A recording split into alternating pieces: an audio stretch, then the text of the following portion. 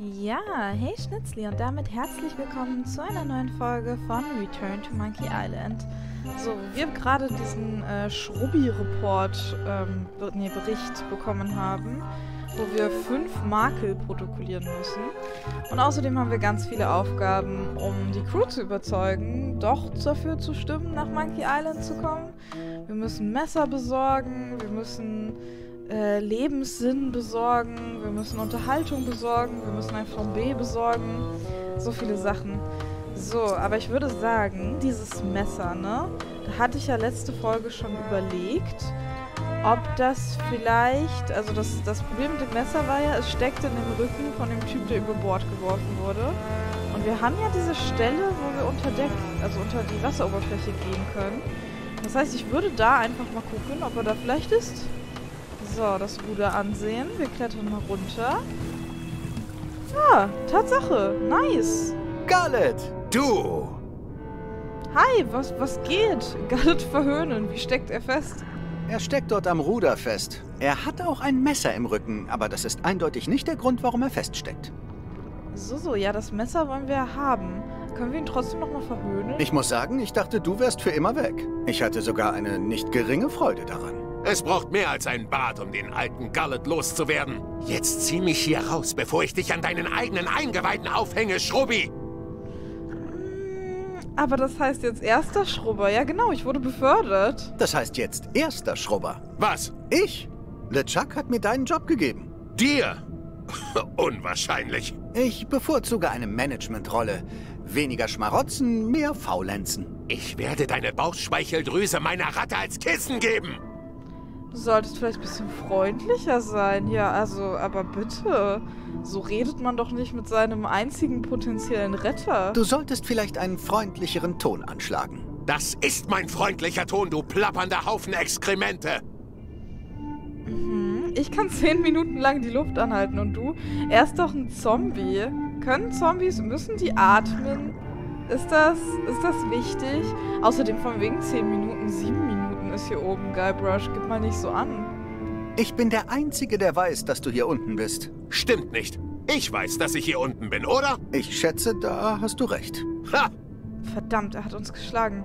Wenn ich dich hier lasse, glaubst du, du kannst dich befreien? Ich hoffe nicht, weil er könnte Rache wollen.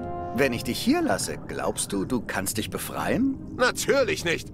Glaubst du, ich habe es nicht schon versucht? Es ist eine Frage von Hebelwirkung. Damit meine ich, dass ich einen Hebel nehme und dir damit auf den Kopf haue, wenn du mich nicht sofort hier rausholst. Mhm, mhm. Sobald wir in See stechen, wirst du wahrscheinlich vom Ruder zu breit zerquetscht. Ach, weil das sich so bewegt. Aber erneut, wer ist ein Zombie? Würde ihn das, würde ihn das stören? Sobald wir in See stechen, wirst du wahrscheinlich vom Ruder zu breit zerquetscht. Warum sagst du das? Falls du dir Sorgen machst, dass du lange festsitzen könntest. Wenn ich dich in die Finger kriege, werde ich deine beiden Beine essen, sie auskotzen und noch einmal essen. Es wäre also klug von mir, dir diese Gelegenheit nicht zu geben. Ja, genau, da hat er recht. Ich habe Angst, wenn ich das sage, dass er uns dann enttarnt, dass wir kein Zombie sind. Aber andererseits, ja, er steckt halt schon fest, ne? Ich kann zehn Minuten lang die Luft anhalten. Und du? Nun, technisch gesehen muss ich gar nicht atmen. Aber es ist ein Reflex, nicht wahr? Ich kann nicht wirklich aufhören, es zu tun. Und es fühlt sich die ganze Zeit an, als würde man ertrinken. Also hol mich sofort hier raus, du kolossaler Trottel. Oh, geht, geht. Ich War nett mit dir zu mal. reden, Garlet. Was meinst du damit, war nett mit dir zu reden? Oh, das meine ich natürlich nicht wörtlich. Ich beende nur höflich unser Gespräch. Warte, nein. Hol mich hier raus, um Himmels Willen. Du Pavian, das wirst du mir büßen. Ich hoffe, er will wirklich keine Rache. So, äh, ich klau mal noch dein Messer, bevor ich Das weggehe, ist das ne? Wahlmesser von Flair Gorys Großmutter. Es ist eine Schönheit. Ja, wir nehmen es auf jeden Fall mit. Du Clown. Danke, Garlet. Das bringt doch nichts. Es hat mich nicht einmal gestört. Ja, ja, aber ich brauche das. Tschüss, Scarlett. War schön mit dir.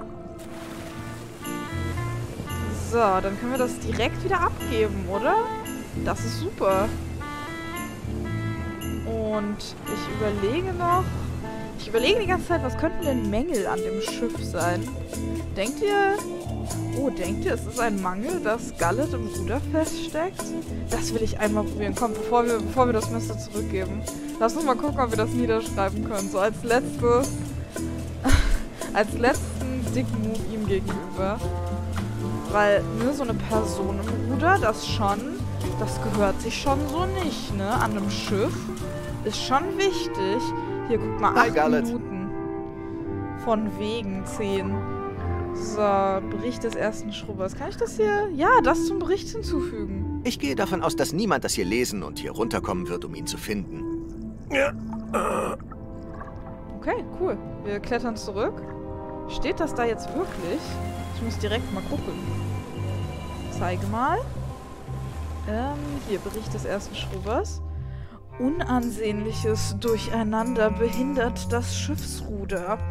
Mhm, in der Tat. Da hat er aber auch ne, seine schönste Amtssprache ausgepackt, der Guybrush. So. Oh, ich überlege, was können wir noch alles? Worüber können wir uns noch beschweren? Das, das macht Spaß. Sachen aufschreiben, die mich stören. Sowas mache ich gar nicht. Hier vielleicht das Chaos. Was für ein... Cha also, das sollte mal jemand schrubben, ne? Mal gucken. Eine Schande.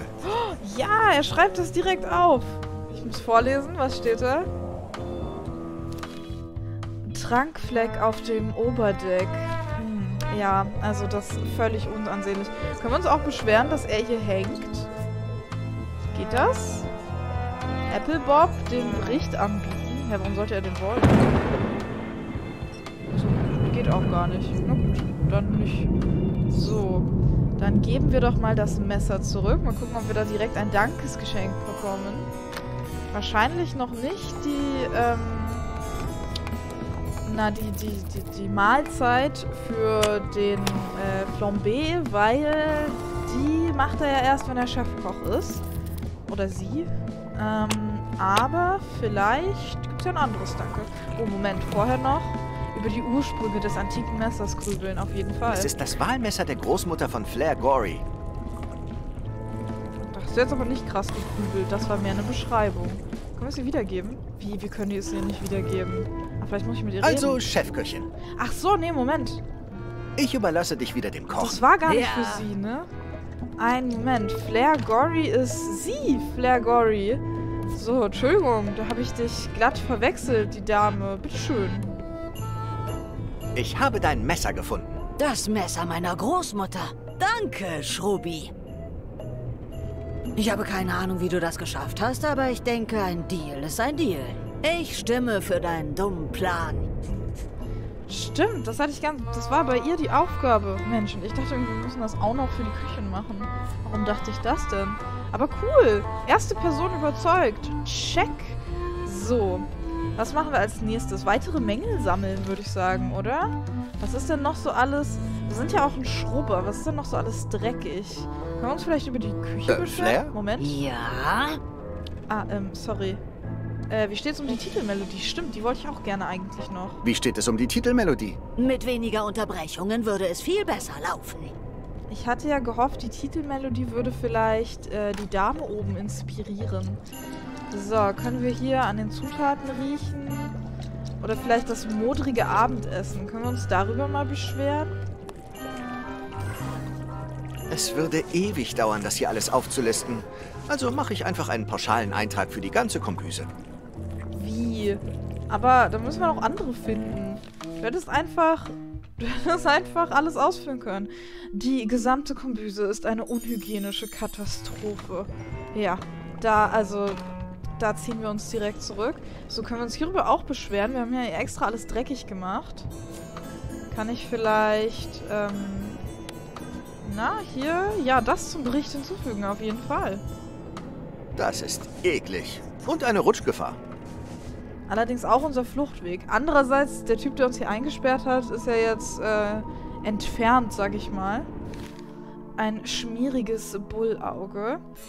So, die Frage ist, was ist die 5? Haben wir noch irgendwas Dreckiges? Ich gucke mich nochmal überall um. Die Kombüse haben wir ja jetzt. Vielleicht können wir den Arbeitsbereich aufschreiben, dass der zu klein ist. Nö. Hm, schade. Ist bei LeChuck irgendwas dreckig? Ich meine, er hat diese Schnotzen an der... Entschuldigung. Die, diese, diese Schnotzlis hier an der Decke. Den Schleier. Kann ich mich hier über irgendwas beschweren? Scheint nicht so. Schade. Na gut. Oh, hat auch ein Stressbällchen. Ja, das braucht er aber auch, der LeChuck. muss ich mal sagen. Der ist nicht sehr entspannt. Der gute Mann. So, hm. Diese Krabben, können wir vielleicht die mal? Auch nicht. Hier die Kanone, da ist auch nichts. Vielleicht können wir uns über die Katze beschweren, dass die bissig ist. Aber wir haben ja jetzt wirklich nur Dreck aufgeschrieben, ne? Vielleicht sollten wir, vielleicht sollten wir auch weiterhin Dreck ähm, machen. Können wir vielleicht noch irgendwas dreckig machen? Das wäre ja mal eine Idee. Das habe ich jetzt nur so dahin gesagt, ne? Aber trotzdem. So, wir gehen mal hier über die Reling. Wir gehen mal den anderen Weg in den Laderaum. Durch das schmierige Fenster. Guck mal, das könntest du nicht mehr machen, Guybrush, wenn das hier weggemacht wird. Willst du das wirklich? Andererseits meinte Guybrush ja, das liegt eh keiner. So, flomp, sind wir wieder drin. Können wir hier noch irgendwas, irgendwas schmieren? Achso, hier ist ja gar kein Schnotz mehr. Na, das ist natürlich blöd. Dann können wir gar keinen Schnotz verteilen. Sorgen um meinen Seesack machen können wir noch. Der Rest meiner Ausrüstung ist da drin. Ich hoffe, sie ist hier unten sicher. Oh, schau das mal. ist wahrscheinlich in Ordnung. Da, Quizkarte. Die habe ich voll übersehen bisher. Nice. Was steht? Das, das müssen wir natürlich erstmal machen. Das Quizbuch öffnen. Wie viele Steinaffen gibt es im zweiten Ring? Ähm. Ja, ich würde sagen, das gebe ich mal weiter an die Kommentare. Wer es weiß, auf jeden Fall da reinschreiben. Ich habe keine Ahnung. So, irgendwann müssen wir die alle noch das sind auch richtig viele, ne? Ich hab das Gefühl, wir haben jetzt schon welche verpasst wahrscheinlich. Wie viele Seiten sind das? 7, 8, 9, 10 Seiten. Ah, 10, Ding, 100 Quizkarten. Das ist nicht schlecht. Hm. So, sind die essbar? Nee, wir wollen ja nicht unsere lieben Geister oh, von Glück reden. Wenigstens riechen sie nicht wie lebende Hühner. Achso, die da hat ein Ei. Hm, ja. Konnten wir mit den Hühnern eigentlich noch irgendwas machen? Können die irgendwas für uns kaputt picken oder so? Wir konnten die füttern, ne? Aber... Weiß ich nicht, das hat nichts gebracht, ne? Die zu füttern. Legt das das Ei, wenn wir es füttern? Nö. Das ist einfach nur unser Hühnerfutter weg. Ich frage mich, woraus es gemacht ist. Na, aus Geistermais? Ich fütter die alle nochmal. Achso,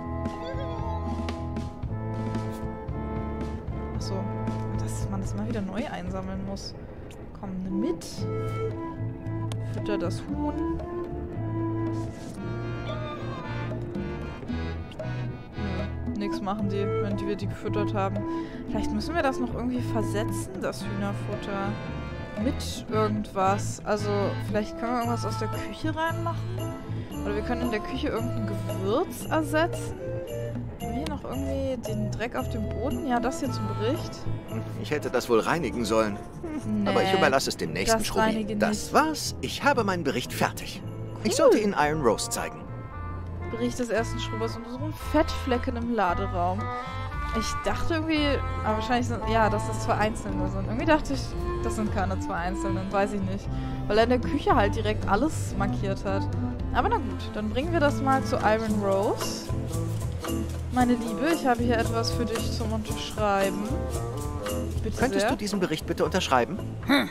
Ja, sehr gründlich. Siehst du? Ich bin gut in meinem Job. So weit würde ich nicht gehen. Hast du es unterschrieben? Hier, ich habe noch einen Haufen anderer Berichte, die der Captain unterschreiben muss. Warum nimmst du ihm nicht den ganzen Stapel? Ach, cool. Da würde er sich freuen. So viel Papierkram. Die Papiere überprüfen, ja, auf jeden Fall. Iron Rose, Es ist ein Stapel richtig gemacht. Papiere, der auf LeChucks Unterschrift wartet. Ach, können wir vielleicht... Wenn wir das hier einfach mit, mit reinmachen? Aha, oho. Es ist ein Stapel Papiere, darunter Putras Beförderungsunterlagen, die LeChuck unterschreiben muss. Ja, dann merkt er das gar nicht, ne? Der kritzelt bestimmt einfach überall seine Signatur drunter. Und dann, bam, hat das mit unterschrieben. So, wir gehen mal rein. Siehst du nicht, dass ich nachdenke? Mach es kurz, Schrubbi. Ja, ich habe hier wichtige Dokumente für Sie, LeChuck. Das kann nicht warten. Papierkram? Okay, her damit. Alles gestempelt. Jetzt lass mir bitte etwas Ruhe und Frieden. Ja, ja, mache ich. Ich gehe dann mal. So, haha, das hat man davon, wenn man hier nichts untersucht. Deswegen immer alles sorgfältig lesen, meine Lieben. Es ist ein Stapel Papiere, die von LeChuck gestempelt wurden. Müssen wir die Iron Rose zurückgeben? Und der abgestempelte Antrag auf Beförderung. Nice. Es ist der Beförderungsantrag von Chefköchin Putra, der von LeChuck abgestempelt wurde. Sehr gut, den geben wir ihr direkt. Sollen wir vorher noch... Moment. Vorher noch die Iron Rose zurückgeben? Rose an ihren Papierkram erinnern. Rose, was machen Sie hier? Dafür habe ich im Moment keine Zeit. Das sind sowieso alles Sachen, die LeChuck absegnen muss. Hat er doch schon. Also wirklich. Hast du gar nicht geguckt. So, aber dann eben nicht. Dann geben wir ihm direkt die Beförderung ab.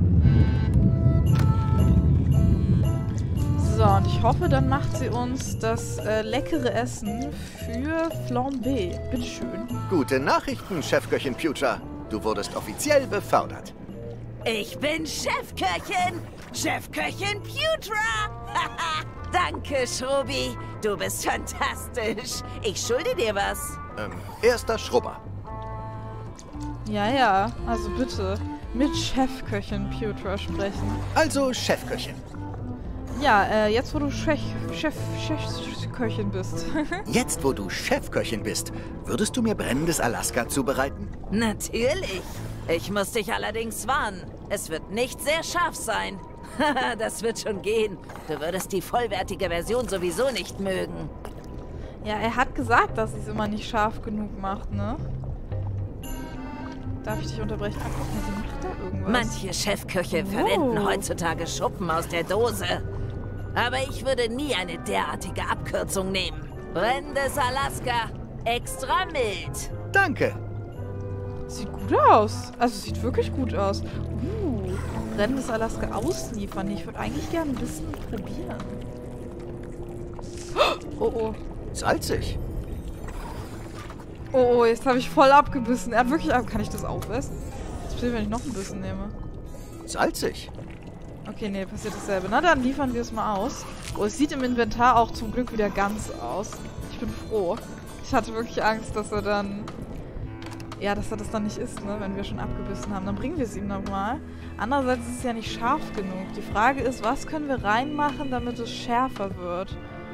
Wir müssen halt irgendwie eine Todeschili finden oder so. Vielleicht können wir seine eigenen Haare. Können wir... Nee. Es... Ich musste ein paar Gefallen einfordern, aber ich habe es geschafft, dir das zu besorgen. Ah, nimm diese Monstrosität weg. Ihre Fahrtheit beleidigt mich schon aus der Ferne. Brennendes Alaska muss wie ein heißer Schürhaken auf der Zunge sein. Verdammt. Haben wir vielleicht irgendwo... Ja, ich weiß nicht. Schwarzpulver oder so. Zaubertrankvorräte. Ist das Ding geladen? Ist hier vielleicht... Das wäre ja... Weil Schwarzpulver wäre ja cool, ne? Kann ich hier... Nee, geht nicht. Huch. Moment. Spritze das brennende Alaska auf das heiße, schwitze Ding auf. Ach, wir servieren ihm einfach wirklich einen glühenden Schürhaken. Ja gut. Das klingt vielversprechend, ist aber unpraktisch zum Mitnehmen. Ach so. Hm. Kann ich vielleicht, kann ich mir was abschnibbeln? Einfach so ein kleines, so eine kleine Prise die Spitze abschneiden. Ja. Nice. Und jetzt das da reinstecken, immer noch glühend Damit heiß. sollte es schön brennen. Okay, wir servieren ihm einfach wirklich einen brennenden Schürhaken. Na dann, auf geht's. Nichts mache ich lieber. Ich habe ein bisschen Angst um ihn. Andererseits, so als Dämon, ne? Ich musste ein paar ab- Gefallen einfordern, aber ich habe es geschafft, dir das zu besorgen.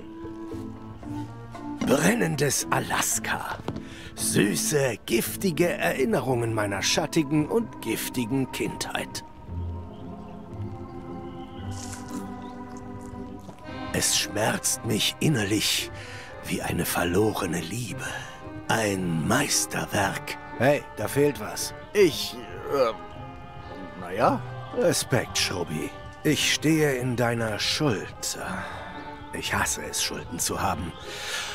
Also sagen wir einfach, dass ich für dich stimmen werde, wenn wir das nächste Mal über deinen Plan sprechen. Den äh, mit den Affen. Nice. Aber meinst du nicht gerade, da fehlt was? Ich hart am Arbeiten? Niemals. Ja, sehr gut. Ähm, so, ja, weiter. Weiter mit der schlechten Arbeit. Immer. Können wir jetzt hier das Buch klauen? Weiter nach dem Buch fragen. Nee, bitten, das Buch ausleihen zu dürfen, auf jeden Fall. Du liest das ja nicht. Kann ich's mir ausleihen? Sicher, ich überlasse es dir für den Rest des Tages. Danke. Cool. Oh, aber das wird den ähm, Typ, der da hängt, nicht freuen, dass er es am Ende des Tages zurückgeben muss, ne? Andererseits, das sagen wir ihm vielleicht einfach nicht. Mal gucken, ob das hilft. Ah, nein! Nicht hier rüberrennen. Entschuldigung. Ich wollte doch nur ins Inventar. So. Das Witzebuch überfliegen. Oh ja, wir gucken erst Das ist Flambés Unterwelt-Witzebuch. Mit Witzen über Dämonen und Dingen aus der Unterwelt. Okay, na dann. Magst du das, Apple Bob? Hey Bob, ich habe ein tolles Buch für dich. Hey, das sieht vielversprechend aus. Danke. Ich schulde dir was. Kann ich auf deine Stimme zählen, um nach Monkey Island zu gehen? Klar, kein Problem. Nice. Und das ist das Letzte, was wir machen müssen, Rose zu überreden.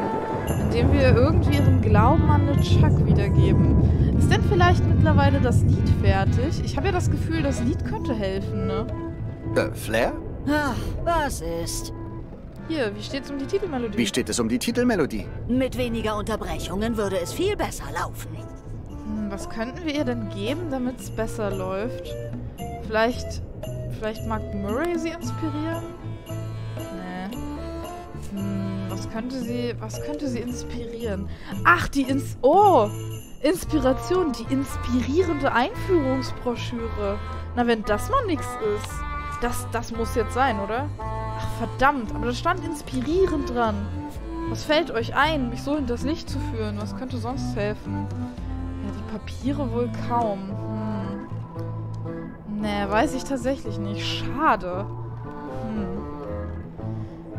Tja, was machen wir da? Sie irgendwie inspirieren. Vielleicht reden wir einfach nochmal mit ihr. Vielleicht hat sie irgendwas. Ich finde, du Zu solltest sagen. trotzdem für Monkey Island stimmen. Darüber möchte ich jetzt nicht sprechen. Ich habe eine Glaubenskrise. Denn ich lasse mich nicht Ach, von Moment. LeChuck inspirieren, seinem Beispiel zu folgen. Vielleicht Okay. braucht sie einfach die inspirierende Einführungsbroschüre. Wie wär's denn damit? Hier, Rose. Ja, inspirierende Lektüre anbieten. Erinnerst du dich daran, dass du mir das bei meiner Einweisung gegeben hast? Da stehen ein paar gute Sachen drin. Ach, ja. Ich habe das selbst zusammengestellt, weißt du? Kein Witz? Vertrauen missbrauchen, Betrug begehen, Körperverletzung androhen. So unerschütterlich, so unapologetisch und rücksichtslos. Das erinnert mich wirklich an früher. Mich auch. Äh, an heute Morgen in meinem Fall. LeChuck ist wirklich ein toller Anführer. Du kannst das behalten, wenn du willst. Nein, danke. Jetzt weiß ich wieder, warum ich LeChuck überall hin folgen will. Selbst wenn ich denke, dass er etwas Dummes tut. Nur um das klarzustellen, das heißt, du stimmst jetzt für Monkey Island. Ja, auch wenn ich weiß, dass du das willst. Ist okay für mich. Ich glaube, ich habe jetzt die Unterstützung von allen. Zeit für eine weitere Abstimmung. Auf jeden Fall. So, Wiederholung der Abstimmung beantragen. Nice. Können wir nochmal darüber abstimmen, ob wir nach Monkey Island fahren? Wenn du eine weitere Abstimmung willst, läute die Glocke selbst. Ja, natürlich. Entschuldigung. Da kann, also das hier rüber zu laufen, das will ich wirklich nicht von dir verlangen. Vor allem bist du ja letztes Mal nicht mehr, du hast einen Stein geworfen. Aber na gut. Die Schiffsglocke läuten. Okay, und Guybrush geht Ein sogar von Glockenschlag. ganz allein zurück. Abstimmungsstunde. Die Versammlung wird zur Ordnung gerufen. Gibt es Angelegenheiten, über die abgestimmt werden soll? Madisons Schiff nach Monkey Island folgen. Dafür stimme ich mit Ei. Ei. Ei, ei. Ei. Hi. Sechs Stimmen dafür, keine dagegen. Ich hoffe, du bist jetzt zufrieden, Oma. Macht euch bereit. Wir folgen dem anderen Schiff, sobald es losgeht. Ja! Nice. Das heißt, wir müssen ihnen jetzt nur noch den Und geplätteten dann Schädel bist du nach. Monkey Island aufgebrochen. Nicht sofort. Ich musste erst noch LeChucks Karte des Geheimnisses in die Finger bekommen. Ja, und wir müssen irgendwie dem anderen Schiff den geplätteten Schädel geben, oder? Und die Frage ist, die Karte liegt da ja bisher noch gar nicht, ne? Es wagen, die Kabine zu betreten. Vielleicht können wir ihm jetzt endlich mal davon erzählen. Ich will diese Karte, ja genau. Aber ich würde sagen, das machen wir dann in der nächsten Folge von Return to Monkey Island. Ich hoffe, es hat euch gefallen. Lasst gerne ein Like da und damit bis dann.